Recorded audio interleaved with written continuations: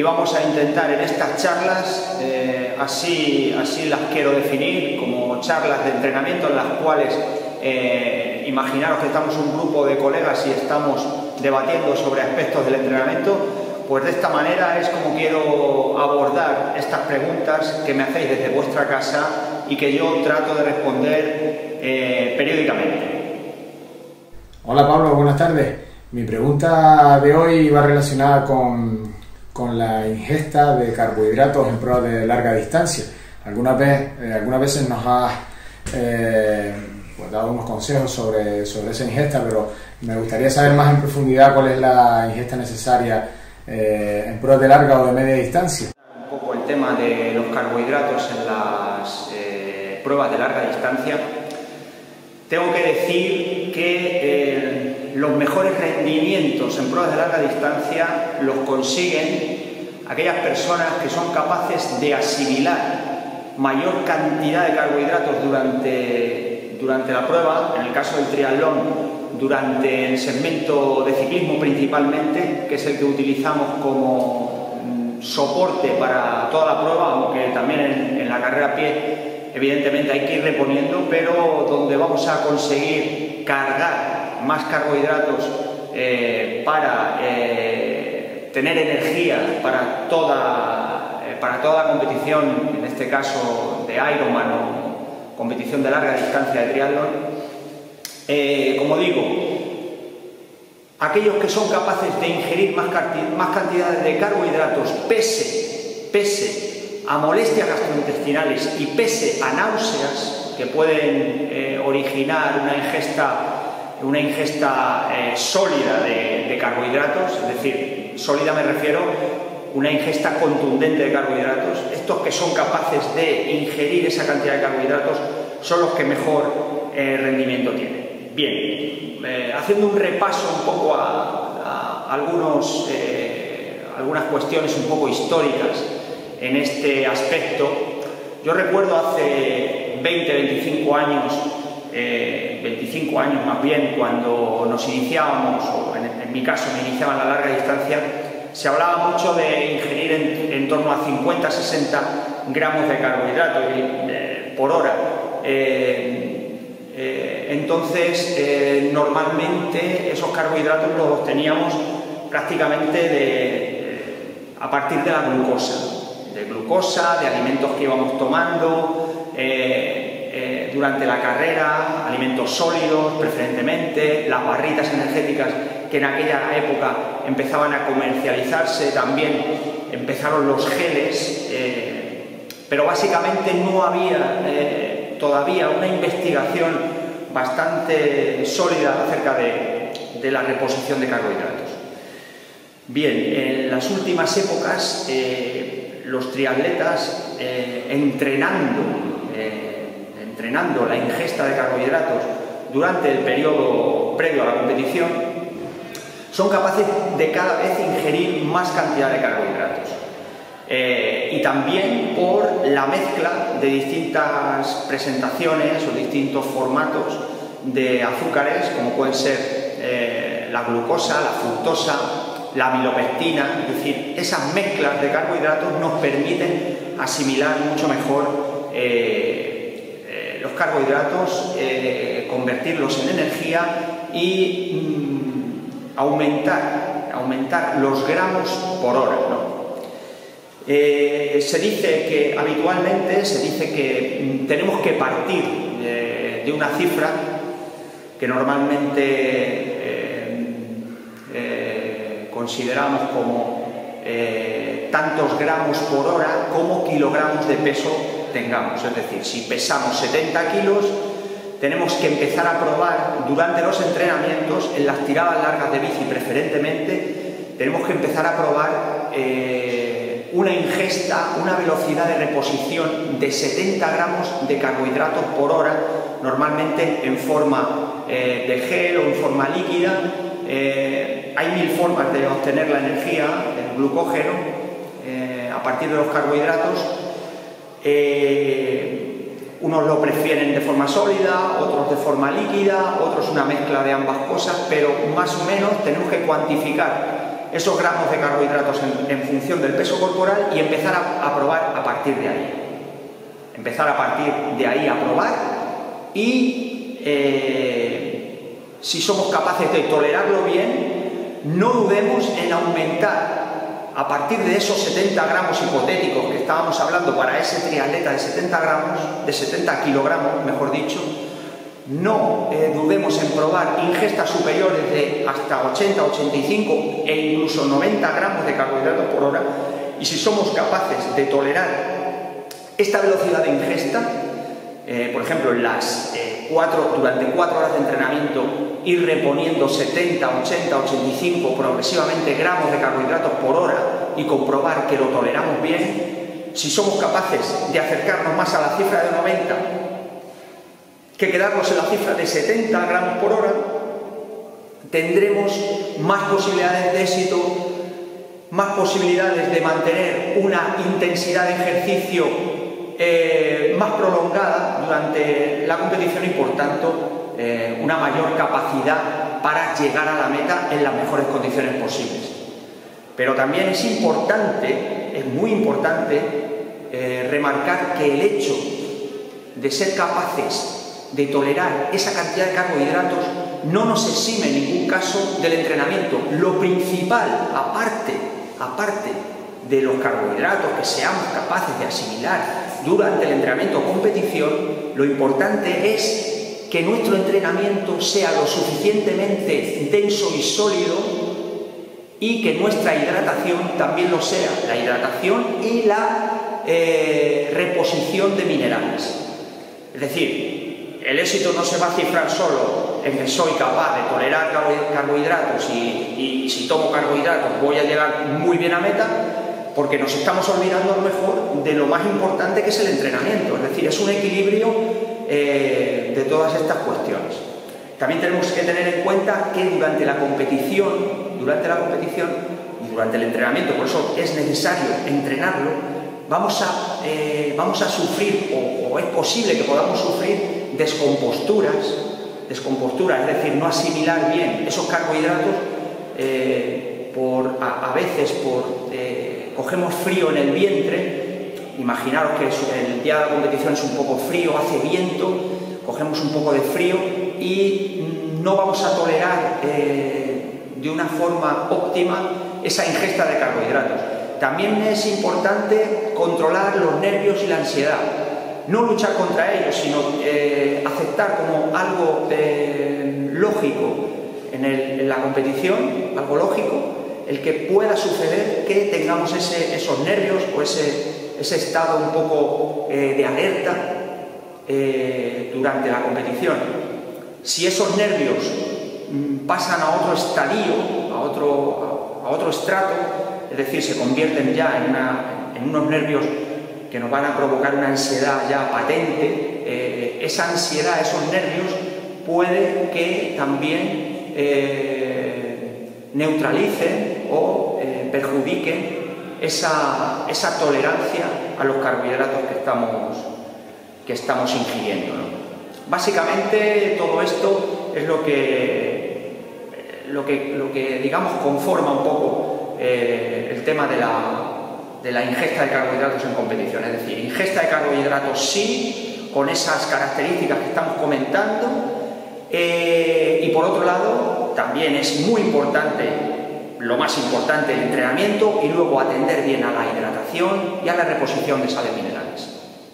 También una, una pregunta relacionada con el ciclismo, eh, con los entrenos de ciclismo, a mí. Me gustaría eh, porque hay varias tendencias en cuanto a diferentes entrenadores eh, que ven mal o desaconsejado parar en medio de los entrenos para, bueno, para tomar un café o, lo que sea. Eh, no sé qué piensas tú de eso y, qué de, malo hay en pararse para tomar un café. Bueno, Pablo, espero tu respuesta. Muchas gracias. A la famosa parada del café, que muchos de nosotros la llamábamos jocosamente la parada del bollo para comer, para comer algo, para, mm, relacionarnos mejor socialmente con los miembros del, grupo, etc. Pues bueno, me sorprende un poco esto, eh, este, no sé, este planteamiento porque eh, yo creo que aquí lo que, hay que, lo que hay que aplicar es un poco el sentido común, es decir, el sentido común es, importante aplicarlo en cualquier campo, pero en este campo aún más, ¿no? Porque, eh, bien, si vamos a hacer una salida de un par de horas, imagínate un par de horas de rodaje o incluso con, unos con un fraccionado, etcétera, no tiene ningún sentido eh, salir a entrenar y pararnos un par de veces, una a tomar café y otra a comernos dos chocolatinas, porque, bueno, pues no tiene sentido hacer esto en una salida de dos horas. Pero en una salida de cuatro horas eh, considero que no, no solo es que no hay problema en parar a tomar café, sino que es bueno parar a tomar café, café o una botellita de agua o lo que quieras tomar, o una infusión o incluso algo de alimento sólido. No es malo, primero, porque el cuerpo lo va a agradecer. Segundo, eh, mejora la relación social con los compañeros. Eh, el hecho de parar un rato y, charlar un poco o tomarnos un café y tal, mm, es algo totalmente lógico. Imagínate, por ejemplo, te voy a poner un ejemplo, imagínate un entrenamiento fraccionado que haces todo seguido sin parar. 20 minutos de carrera de calentamiento. Luego, sin parar, te pones a hacer los ejercicios de técnica de carrera y sin parar te pones a hacer el fraccionado con sus recuperaciones y luego inmediatamente empiezas a trotar eh, suave, todo seguido sin parar. Bueno, Podríamos contemplarlo así, pero realmente no creo que tenga mucho sentido. Es decir, aplicamos, como digo, el sentido común. Hacemos un calentamiento, podemos parar 2, 3, 4, 5 minutos y comentar un poco los contenidos del entrenamiento. Estamos parados, no pasa nada por parar. Luego hacemos nuestra técnica, paramos y no pasa nada por parar y empezamos el fraccionado. Y cuando hemos terminado el fraccionado, paramos 3, 4, 5 minutos, comentamos los aspectos del entrenamiento, parados y luego hacemos 10 minutos de trote. No hay ningún problema en hacerlo así. Pues en la bicicleta, como comprenderás, hacer un entrenamiento de 3 horas y media, 4 horas, 4 horas y media, incluso 5 horas o más, que se hacen para las pruebas de larga distancia, no veo mayor problema en hacer un calentamiento de hora, hora y media, hacer un bloque, por ejemplo, de entrenamiento específico de series acoplado, de tramos de ritmo Ironman, de de fracciones X, llamadas como quieras, de tempo, de umbral, de consumo máximo de oxígeno. Y una vez que hemos hecho alrededor de dos horas y media o tres de entrenamiento y hemos completado ese bloque, ese bloque principal del entrenamiento, podemos parar perfectamente y tomar algo, un café, un refresco, un agua mineral, lo que queramos, charlar un poco con los amigos y luego continuar el entrenamiento. Esto sirve para eh, la distensión para el solaz de, los integrantes del grupo de entrenamiento y mejora la relación del grupo de entrenamiento. Tú dile a un ciclista profesional que salga a hacer 5 horas de entrenamiento y no pare a tomar café. Ninguno lo hace, todo el mundo para y todo el mundo luego compite en el Tour de Francia y lo hacen bien. O sea que es que no hay ningún problema por parar siempre y cuando apliquemos el sentido común y lo hagamos en el contexto del entrenamiento con cierta lógica. Hola Pablo, hoy, hoy me he calentado. He salido con la grupeta y me he calentado. Y donde tenía que hacer un, tener un IF del 0,62, he tenido un IF del 1,02. Y sé que está mal y aquí mi pregunta cómo hacemos para compatibilizar eh, alguna que otra salida con la grupeta y los entrenamientos que, tenemos. Sé que, el objetivo a largo plazo es más importante que, las salidas con la grupeta, pero a veces eh, no, puedo controlarme y, me termino picando y termino olvidándome de los vatios y dejándome llevar. Pues muchas gracias. Hola Luis, muy buenas. Eh, bien, eh, esta es eh, muchas veces la eterna disyuntiva, ¿no? Tengo mi plan de entrenamiento, mi propio plan de entrenamiento, pero mis amigos, mi grupo de colegas con los que salgo en bici, pues mm, de vez en cuando me reclaman y a mí me apetece también ir a entrenar con ellos. Bien, Yo creo que también, como decía antes, el sentido común es importante aplicarlo en este caso. Es decir, si tengo un grupo de colegas que hacen mi mismo deporte y son gente que tienen un nivel muy inferior al mío, esa salida de grupo, esa salida de grupo, eh, la puedo enmarcar dentro de mi planificación utilizando una de las sesiones suaves o extensivas que mi entrenador me marque. Bien, si los colegas son gente que tienen un nivel muy superior al mío y que además van fuerte y me apetece ir con ellos un día, utilizo previa consulta con el entrenador, utilizo una de las sesiones de mayor intensidad o una de las sesiones intensas o la sesión intensa que tengo de ciclismo para esa semana para irme con mis colegas y entonces eh, de esta manera pues sustituyo la sesión pautada por una sesión eh, con, mis compañeros de equipo, de club o, colegas de, fin de semana. Yo creo que en este caso eh, hay que aplicar el sentido común, es decir, porque la sesión de entrenamiento tiene un efecto inmediato, tiene un efecto, el efecto eh, que se consigue durante la sesión y posterior, y luego también tiene un efecto a medio o largo plazo, es decir, cómo esa sesión afecta a las sesiones posteriores. Es decir, si estamos utilizando una sesión que es suave eh, para salir con, con mis amigos que tienen un nivel muy superior al mío, pues digamos que luego si intento hacer otra sesión fuerte que tengo, pues ahí la, estoy, eh, estoy fallando, no estoy, no estoy, digamos, atendiendo a la filosofía del contexto global del, entrenamiento. Lo que tengo que hacer es, vuelvo a repetir, utilizar el sentido común, consultar con el entrenador e intentar enmarcar esas sesiones eh, de la mejor manera posible en el contexto global de la preparación. Buenos días a todos. Mi pregunta es, para los entrenamientos de ciclismo en los que hay cuestas y está prescrita una zona de potencia y una cadencia determinada, hay veces que por las circunstancias de, las cuestas pues eh, no se alcanza la cadencia establecida, sobre todo cuando se pide una cadencia alta y nos pasamos en, potencia. Eh, ¿Cuál de las dos cosas habría que sacrificar? mantenernos en la zona de potencia establecida o intentar alcanzar la cadencia eh, solicitada a pesar de, salirse del rango de la potencia. Eh, vamos a definir los tres aspectos importantes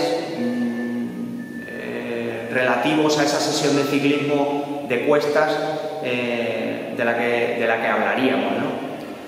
Eh, esos tres aspectos importantes serían la intensidad del entrenamiento requerida, es decir, si es una intensidad de zona 4, que es la zona inmediatamente inferior al umbral, de zona 5, que es la zona de umbral, etc. La intensidad por un lado. Por otro lado, el desarrollo que tenemos montado en nuestra bici. Es decir, si llevamos un plato pequeño de 36 y un piñón grande de 25, o llevamos un piñón, perdón, un plato pequeño de 39 y un piñón, eh, y un piñón de 23 como máximo.